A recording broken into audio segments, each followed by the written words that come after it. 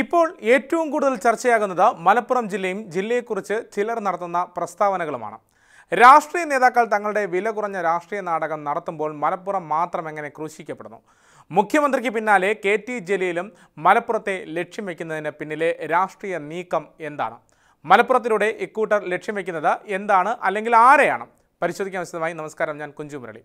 ഇത്തരത്തിലൊരു ചോദ്യം ഉയർന്നു വരാനായിട്ട് ഒരുപാട് കാരണങ്ങളുണ്ട്. കാരണം ആദ്യം മുഖ്യമന്ത്രി പിണറായി വിജയൻ മലപ്പുറത്തെക്കുറിച്ചുള്ള ഒരു പരാമർശം നടത്തുന്നതായി ദ ഹിന്ദുവിൽ ഒരു പ്രസിദ്ധീകരണം പുറത്തുവരികയാണ്. ഈ ഒരു സാഹചര്യത്തിൽ വലിയ രീതിയിൽ ചർച്ചകൾ പുരോഗമിക്കുന്നു വലിയ രീതിയിലുള്ള ചർച്ചകൾ വരുന്നു. മുഖ്യമന്ത്രി മലപ്പുറത്തെ അപമാനിച്ചു എന്നുള്ള തരത്തിലുള്ള വാർത്തകളും കാര്യങ്ങളൊക്കെയാണ് പുറത്തു വരുന്നത് ഇപ്പോഴിതാ മുഖ്യമന്ത്രിക്ക് പിന്നാലെ കെ ടി ജലീലും രംഗത്തെത്തുകയാണ്. കരിപ്പൂർ കേന്ദ്രീകരിച്ചുള്ള സ്വർണക്കടത്തിൽ പിടിക്കപ്പെടുന്നവരിൽ ഭൂരിഭാഗവും മുസ്ലിങ്ങളെന്നാണ് കെ ടി ജലീൽ പറയുന്നത്. ഈ ഒരു പ്രസ്താവന തിരുത്താൻ ജലീൽ തയ്യാറാകുന്നില്ല എന്നതാണ് ഏറ്റവും പ്രധാനപ്പെട്ട കാര്യം. അതായത് ഈ ബോധവൽക്കരിക്കാൻ കാളിമാർ തയ്യാറാകണമെന്ന് പറഞ്ഞാൽ അത് എങ്ങനെ ഇസ്ലാമോഫോബിക് ആകുമെന്നാണ് ജലീൽ ഇപ്പോൾ ചോദിക്കുന്നത്. തെറ്റ് ചെയ്യുന്നത് ഏത് സമുദായക്കാരനാണെങ്കിലും ആദ്യം എതിർക്കേണ്ടത് ആ സമുദായമാണെന്നും ജലീൽ ഫേസ്ബുക്ക് കുറിപ്പിലൂടെ പറയുന്നുണ്ട്. ഇത്തരത്തിലൊരു സമുദായത്തെ ഇങ്ങനെയുള്ളൊരു വിഷയത്തേക്ക് സമുദായത്തെ കൂട്ടുപിടിക്കുന്ന എന്തിനാണ് എന്നുള്ള ചോദ്യമാണ് വരുന്നത്. മലപ്പുറത്തിലൂടെ ജലീൽ ലക്ഷ്യം വയ്ക്കുന്നത് ലീഗിനെയാണോ എന്ന സംശയമാണ് ഉയർന്നു വരുന്നത്. അതിന് കുറേ ചോദ്യങ്ങളുണ്ട്. കാരണം ഇത്തരത്തിലൊരു സംശയം ഉയർന്നു വരുന്നതിന് പിന്നിൽ കുറേ കാര്യങ്ങളും അല്ലെങ്കിൽ കുറേ ഘടകങ്ങളും ഉണ്ട്. അതിൽ ഏറ്റവും പ്രധാനപ്പെട്ടത് മുൻപ് കെ ടി ജലീലുമായി ബന്ധപ്പെട്ട ഒരു വിഷയം വന്നപ്പോൾ ലീഗ് മിണ്ടിയിരുന്നില്ല എന്നുള്ളതാണ്. ഇപ്പോൾ പലരും ഇത്തരത്തിലുള്ള പ്രശ്നങ്ങളിൽ അകപ്പെടുമ്പോൾ ലീഗ് നേതാക്കളോ ലീഗോ ഒക്കെ കൃത്യമായി ഇടപെടുന്നുണ്ട്. അല്ലെങ്കിൽ മലപ്പുറം ഫാൻസ് എന്ന് പറയുന്ന ഒരു വിഭാഗം ഇടപെടുന്നുണ്ട്. മുഖ്യമന്ത്രി അപമാനിച്ചു എന്നുള്ള തരത്തിലൊക്കെ മലപ്പുറം ഫാൻസ് ഒരു വലിയ രീതിയിലുള്ള ഈ ഫേസ്ബുക്കിലും സോഷ്യൽ മീഡിയയിലും ഒക്കെ വലിയ രീതിയിലുള്ള ഒരു മൂവ്മെന്റ് നടത്തിയിരുന്നു. അപ്പോൾ അതുകൊണ്ട് തന്നെ താൻ ക്രൂശിക്കപ്പെട്ടപ്പോൾ എവിടെയായിരുന്നു ഇവർ എന്നുള്ള ചോദ്യമാണ് ജലീൽ പ്രധാനമായി ഉന്നയിക്കുന്നത്. അതുകൊണ്ട് തന്നെ ഇത്തരത്തിലുള്ള ഒരു പരാമർശം ലീഗ് നേതാക്കളെ ലക്ഷ്യം വെച്ചുകൊണ്ട് തന്നെയാണ്. ലീഗിന് നേരെയുള്ള ഒരു ചാട്ടുളിയാണ് ജലീൽ ഇപ്പോൾ എൽ ഡി എഫിന്റെ സഹായത്തോടെ ചെയ്യുന്നതെന്നൊരു ആക്ഷേപം സോഷ്യൽ മീഡിയയിൽ ഉയരുന്നുണ്ട്. അത് ശരിവയ്ക്കുന്ന കാര്യങ്ങളാണ് കഴിഞ്ഞ കുറച്ച് ദിവസങ്ങളായി സംഭവിക്കുന്നത്. മലപ്പുറത്തുകാരനായ തന്നെ കൊത്തിവലിക്കാൻ മുസ്ലിം ലീഗ് എറിഞ്ഞു കൊടുക്കുകയായിരുന്നു എന്നാണ് കെ ടി ജലീൽ ആരോപണമായി ഉന്നയിക്കുന്നത്. ലീഗുകാർ തന്റെ പിന്നാലെ വേട്ടപ്പട്ടിയെ പോലെ ഓടുകയായിരുന്നു എന്നും പറയുന്നുണ്ട്. കള്ളപ്രചാരണങ്ങൾ മുസ്ലിം ലീഗ് തനിക്കെതിരെ ഉപയോഗിച്ചുവെന്നും കെ ടി ജലീൽ പറയുകയുണ്ടായി. ലീഗിനെതിരെ പ്രത്യക്ഷമായും പരോക്ഷമായും ഇത്തരത്തിലുള്ള ആരോപണം ഉന്നയിക്കുമ്പോൾ ജലീലിന്റെ ലക്ഷ്യം ലീഗ് തന്നെയാണെന്ന് വ്യക്തമാവുകയാണ്. കാരണം കെ ടി ജലീലുമായി ബന്ധപ്പെട്ട് ഖുറാനിൽ ഈ സ്വർണം കടത്തിയെന്ന തരത്തിലുള്ള വാർത്തകളും അല്ലെങ്കിൽ അത്തരത്തിലുള്ള ആരോപണം പുറത്തു വന്നപ്പോൾ ഈ ലീഗ് നേതാക്കൾ ആരും തന്നെ അതിൽ പ്രതികരിച്ചിരുന്നില്ല എന്ന് മാത്രമല്ല ജലീലിനെ ക്രൂശിക്കുകയും ചെയ്തു. ആ ജലീലിന്റെ രാഷ്ട്രീയമാണ് ആ ക്രൂശിക്കപ്പെടാനുള്ള ഒരു സാഹചര്യം എന്നുള്ളത് മറുവശമാണ്. സ്വർണക്കടത്തുമായി ബന്ധപ്പെട്ട് നടത്തിയ പരാമർശത്തിൽ തന്റെ വാക്കുകൾ വളച്ചൊടിച്ചു എന്ന് കെ ടി ജലീൽ തന്നെ പറയുന്നുണ്ട്. വളരെ സതുദ്ദേശപരമായി താൻ നടത്തിയ പ്രസ്താവനയെ വളരെ വികൃതമായിട്ടാണ് പി എം എ സലാം ഉൾപ്പെടെയുള്ള ആൾക്കാർ പറഞ്ഞതെന്നും ജലീൽ പറയുന്നു. താൻ മലപ്പുറം വിരുദ്ധത പറഞ്ഞു എന്നാണ് അല്ലെങ്കിൽ ആ നിലയിൽ വരുത്തി തീർക്കുമെന്നും ഇതിനെ ചൊല്ലി സൈബർ ഇടങ്ങളിൽ വലിയ വിമർശനങ്ങൾ ഉയർന്നുവെന്നും കെ ടി ജലീൽ വാർത്താ സമ്മേളനത്തിൽ പറയുന്നുണ്ട്. യഥാർത്ഥത്തിൽ ഒരു തരത്തിൽ അല്ലെങ്കിൽ മറ്റൊരു തരത്തിൽ അത് തന്നെയാണ് യാഥാർത്ഥ്യം.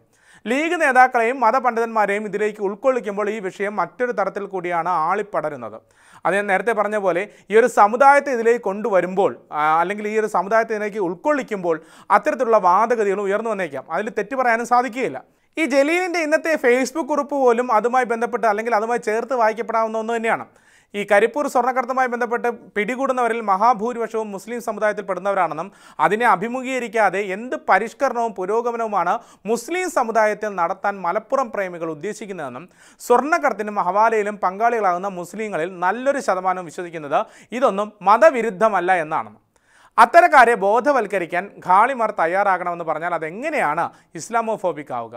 അവനവന്റെ കണ്ണിലെ കുന്തം കാണാതെ ആരാന്റെ കണ്ണിലെ കരട് കാണുന്നവരെക്കുറിച്ച് സമൂഹത്തിന് പുച്ഛമാണ് ഉണ്ടാവുക എന്നും ഒരു മണിത്തൂക്കമെങ്കിലും അല്ലെങ്കിൽ ഒരു അണു മണിത്തൂക്കമെങ്കിലും തെറ്റ് ചെയ്യാത്ത മലപ്പുറംകാരനായ എന്നെ ഖുറാന്റെ മറവിൽ സ്വർണം കടത്തിയവനെന്നും കള്ളക്കടത്തുകാരനെന്നും ചാപ്പ കുത്തി താറടിച്ച് അപമാനിക്കാൻ മാധ്യമപ്പടയും മുസ്ലിം ലീഗും കോൺഗ്രസും ബി ജെ പിയും ഒരു മെയ്യായി നിന്ന് നടത്തിയ വേട്ട.